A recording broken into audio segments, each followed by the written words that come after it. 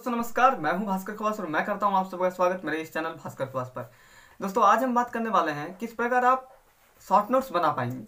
दोस्तों short notes short notes बहुत ही important होता है किसी भी चैप्टर को कंप्लीट करने के लिए। किसी भी क्लास के, किसी भी सिलेबस को कंप्लीट करने के लिए शॉर्ट नोट्स बहुत ज़्यादा इंपॉर्टेंट होता है। दोस्तों, अगर आप क्लास नाइन से क्लास ट्वेल्व के बीच हैं तो आपको शॉर्ट नोट्स बनाना ही चाहिए, क्योंकि वो बहुत इंपॉर्टेंट है। उससे आप बाद में इजीली रिवाइज कर सकते हैं। उससे आप अपने चैप्टर को अच्छी तरह से कंप्लीट कर सकते हैं। दोस्तों कभी भी कोई भी चैप्टर तब तक कंप्लीट नहीं होता है जब तक आप उस चैप्टर का शॉर्ट नोट्स नहीं बना लेते हैं। तो दोस्तों, आप शॉर्ट नोट्स अवश्य बनाएँ। शॉर्ट नोट्स बहुत इंपॉर्टेंट होता है। तो अब मैं आपको बताने जा रहा हूँ इस वीडियो में कि आप किस प्रकार शॉर्ट नोट्स बनाएँगे। शॉर्ट नोट्स बनाने के लिए आपको किन किन चीज़ों का ध्यान रखना पड़ेगा। तो मैं आपको इस वीडियो में फाइव इंपॉर्टेंट टिप्स बताऊँगा जिसपे, जिसको अगर आप फॉलो करते हैं तो आप शॉर्ट नोट्स बहुत ही अच्छे से बना सकते हैं। दोस्तों, वो फाइव टिप्स क्या है? दोस्तों, सबसे पहले जो टिप आता है, वो टिप आता है कि दोस्तों शॉर्ट नोट्स आपको हमेशा मल्टीपल बुक से बनाना चाहिए। आप कभी भी एक बुक को यूज़ मत कीजिए शॉर्ट नोट्स बनाने में। आप मल्टीपल बुक्स को यूज़ कीजिए मल्टीपल बुक्स को रेफर कीजिए। और अगर आप ट्यूशन स्कूल जहाँ से पढ़े हैं, वहाँ से अगर आप नोट्स लिखे हैं तो उन नोट्स को भी साथ में खोल कर रखिए। उन नोट्स को खोल कर रखिए और बहुत सारे बुक्स को भी खोल कर रखिए। मान लीजिए आपके पास एनसीईआरटी का बुक है, कोई एक एडिशनल बुक है, साथ में आपका नोट्स है। आप तीन कॉपी को खोले एक साथ, एक कॉपी और दो बुक को आप खोले। अब उन तीनों में से सबसे ईजी जो लैंग्वेज उन तीनों में से कोई एक डेफिनेशन को आप पढ़ें। मान लीजिए किसी चीज़ को आपको शॉर्ट नोट्स में लिखना है, किसी डेफिनेशन को आपको शॉर्ट नोट्स में लिखना है तो अब उन तीनों में से जो सबसे, उन तीनों को, उन तीनों कॉपी से आप एक टॉपिक को पढ़िए। उन टॉप उस टॉपिक को पढ़ें सबसे पहले। आप शॉर्ट नोट्स सबसे पहले लिखेंगे तो आप सबसे पहले डिसाइड कीजिए कि आप शॉर्ट नोट्स लिखेंगे कहाँ। तो शॉर्ट नोट्स आप कॉपी में भी लिख सकते हैं। अगर आप क्लास टेंथ तक है तो आप कॉपी में भी शॉर्ट नोट्स बना सकते हैं। और अगर आप इलेवन ट्वेल्व में हैं तो आप ए फोर साइज़ पेपर का कोशिश कीजिए कि एक ए फोर साइज़ पेपर ले लें। उसमें तीन तीन वर्टिकल लाइन खींचिए। एक पेपर में दो लाइन खींचिए। तीन स्पेस होना चाहिए एक पेपर में। और अगर हो सके तो मैं सैंपल आपको दिखा दूँगा इस वीडियो के लास्ट में कि किस प्रकार शॉर्ट नोट्स बनते हैं। मैं अपने इलेवन ट्वेल्व का शॉर्ट नोट्स का एक, दो सैंपल आपको दिखा दूँगा। तो इलेवन ट्वेल्व में तो आप ए फोर साइज़ सीट में बनाइए, क्योंकि उसका चैप्टर बड़ा होता है। और अगर आप टेंथ तक देखें तो टेंथ तक आप कॉपी में भी बना सकते हैं। तो आप एक कॉपी का पेज लीजिए, उस कॉपी का पेज में आप जिस टॉपिक के बारे में लिखना चाहते हैं, सबसे पहले तो आप चैप्टर का नाम अच्छे से लिखिए। सबसे पहले आप उस चैप्टर का हेडिंग लिखेंगे, अच्छे तरह से। सबसे पहले उस चैप्टर का हेडिंग लिखिए अच्छे तरह से। उसके बाद आप उस चैप्टर उस टॉपिक के बारे में लिखिए। अब आप किसी भी एक टॉपिक को पकड़िए, उस टॉपिक को उन तीनों जगह से पढ़िए। तीन, चार, जो भी आप जितने भी मल्टीपल बुक्स खुले हैं, उन सारे मल्टीपल बुक्स से उस टॉपिक के बारे में पढ़िए, अच्छे से पढ़िए। और उन, उस टॉपिक को समझने का प्रयास कीजिए, अच्छे से पढ़िए। मेरा पहला पॉइंट वही है कि use multiple books while writing short notes short notes लिखने के समय आप मल्टीपल बुक्स का यूज़ कीजिए। आप किसी एक बुक को पकड़कर शॉर्ट नोट्स नहीं बना सकते हैं। आप कम से कम दो या तीन, दो बुक्स एक कॉपी या फिर एक बुक एक कॉपी कम से कम दो या तीन चीज़ों के साथ ही आप शॉर्ट नोट्स बनाना शुरू कीजिए। क्योंकि क्या होता है कि आप अगर डिफरेंट डिफरेंट मल्टीपल बुक्स लेंगे तो आपको उसको तीन लैंग्वेज में आपको एक ही चीज़ समझ में आएगा। इस बुक में पढ़े, इस बुक में अलग लैंग्वेज में लिखा है, दूसरे बुक में अलग लैंग्वेज में लिखा हुआ है। दो बुक से एक कॉपी से आपके सर लिखा है सर आपके कैसे लिखा है? तीन लैंग्वेज में आप समझे, उन तीनों लैंग्वेज में सबसे ईजी लैंग्वेज जो आपको लिखा, लगा, वही लैंग्वेज आपको अच्छे से समझना है। अब सेकंड पॉइंट मेरा क्या है? सेकंड पॉइंट मेरा ये है कि आप जो कॉन्सेप्ट को पढ़ें, उस कॉन्सेप्ट को अच्छे से अंडरस्टैंड कीजिए। Understand the concept what you are writing in your short note short note से लिखने से पहले आप उस कॉन्सेप्ट को बिल्कुल अच्छे से समझिए।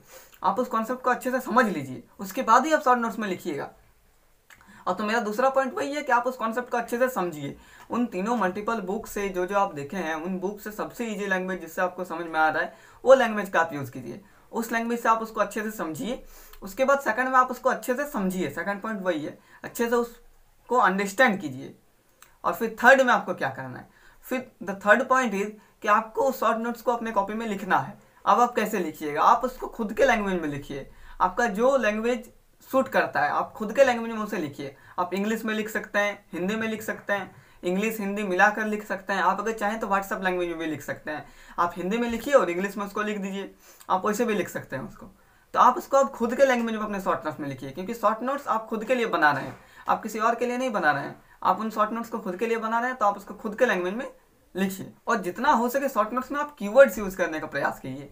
क्योंकि शॉर्ट नोट्स में आप कीवर्ड्स यूज़ कर सकते हैं। आप अगर बिकॉज़ लिख बिकॉज़ लिखना चाहते हैं तो आप बी सी जेड लिख सकते हैं बिकॉज़ को। मतलब जो भी आपको देयर फोर लिखना है तो देयर फोर का ओनली सिंबल दे दीजिए। आप उसको पूरा मत लिखिए, आप उसका सिंबल दीजिए, ताकि छोटा बने। ताकि शॉर्ट नोट्स छोटा बने। नाम ही है उसका शॉर्ट नोट्स शॉर्ट नोट्स मतलब छोटा नोट्स ताकि वो छोटा रहे। एक पेज दो पेज में ताकि एक चैप्टर आपका आ जाए। हाँ और आपको ये चीज़ भी ध्यान में रखना है कि आपको एक पेज, दो पेज में पूरा चैप्टर निपटाना है। वहाँ कॉपी में, बुक में जो आपका दस पेज में लिखा हुआ है, जो आपका चार पेज में लिखा हुआ है, पाँच पेज में लिखा हुआ है, उसको आपको एक पेज में लाना है। जो आपका दस पेज में लिखा हुआ है, उसको आपको दो ही पेज में कंप्लीट करना है। आपका एक चैप्टर का शॉर्ट नोट्स लगभग दो पेज का मैक्सिमम दो से तीन पेज लेना चाहिए, उससे ज़्यादा नहीं लेना चाहिए, तभी वो शॉर्ट नोट्स पकड़ाएगा।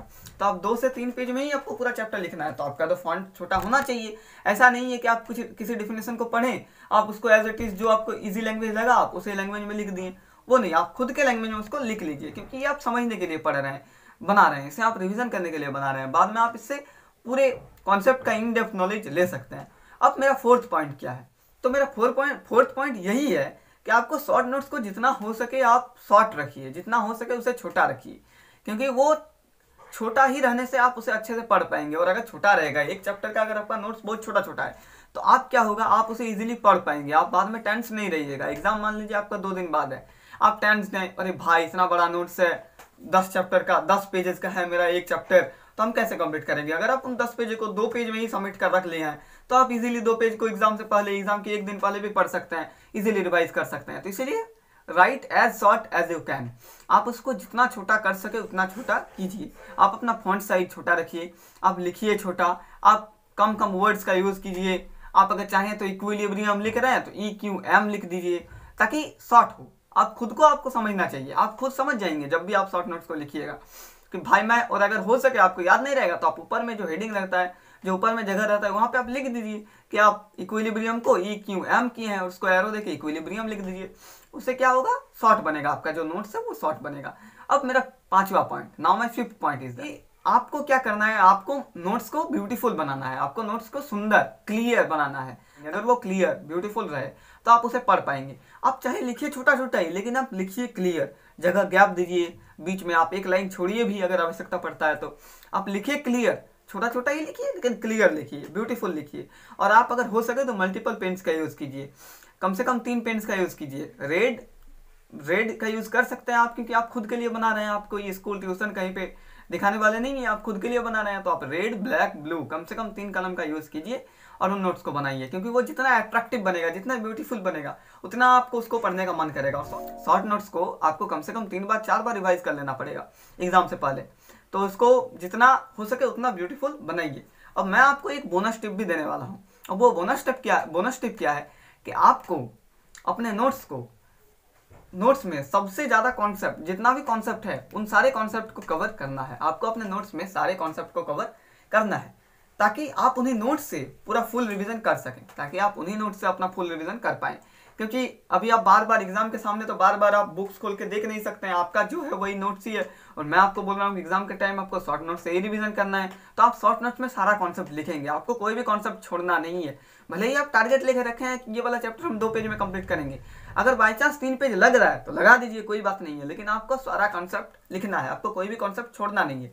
आपको लिखना सारा कॉन्सेप्ट है, समझना सारा कॉन्सेप्ट है और अच्छे से खुद के भाषा में लिखना है। सारा कॉन्सेप्ट एक भी कॉन्सेप्ट छोड़ना नहीं है। यही है मेरा बोनस टिप कि आपको एक भी कॉन्सेप्ट एक भी टॉपिक छोड़ना नहीं है। आपको लिखना सारा टॉपिक है। जो इंपॉर्टेंट डायग्राम्स है, उन इंपॉर्टेंट डायग्राम्स को भी बना लेना है शॉर्ट नोट्स में। छोटा करके बनाइए, लेकिन बना लीजिए। जो इंपॉर्टेंट डायग्राम्स है, ताकि आप उसको नज़र में रख सकें। अब जो डायग्राम क्लास टेंथ के एग्जामिनेशन में बहुत सारे डायग्राम भी आते हैं बायोलॉजी में तो उन डायग्राम्स को भी छोटा छोटा करके बना कर रख लीजिए शॉर्ट नोट्स में। ताकि शॉर्ट नोट्स में आपका सब कुछ लिखा रहेगा। छोटा करके ही है, लेकिन सब कुछ है। कुछ भी छोड़ा हुआ नहीं है। तो इसी प्रकार आप शॉर्ट नोट्स को बनाइए। शॉर्ट नोट्स को ऐसे बनाइए कि उसमें सब कुछ रहेगा। तो मैंने अपने पाँचों पॉइंट्स को बता दिए। अब एक बार मैं फिर से रिकैप करवा देता हूँ पाँच पॉइंट्स को जल्दी जल्दी।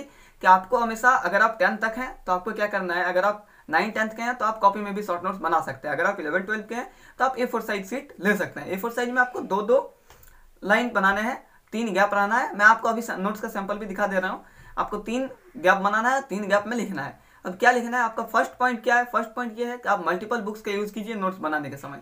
आप मल्टीपल बुक्स का यूज़ कीजिए मल्टीपल बुक से कॉन्सेप्ट को समझिए। सेकंड टिप क्या है कि मल्टीपल बुक से आप कॉन्सेप्ट को समझिए। जो कॉन्सेप्ट आप लिखने वाले हैं, उस कॉन्सेप्ट को सबसे पहले समझिए। उस कॉन्सेप्ट को खुद से सबसे पहले समझ जाइए, उसके बाद उसको लिखना है। Now the third point is that कि आप अपना खुद का भाषा का यूज़ कीजिए। आप हिंदी में लिख सकते हैं, आप इंग्लिश में लिख सकते हैं, आप इंग्लिश में लिख सकते हैं। आप अगर चाहें तो व्हाट्सएप लैंग्वेज में लिख सकते हैं, जो जैसा आप व्हाट्सएप में टाइप करते हैं। आप वैसे भी लिख सकते हैं।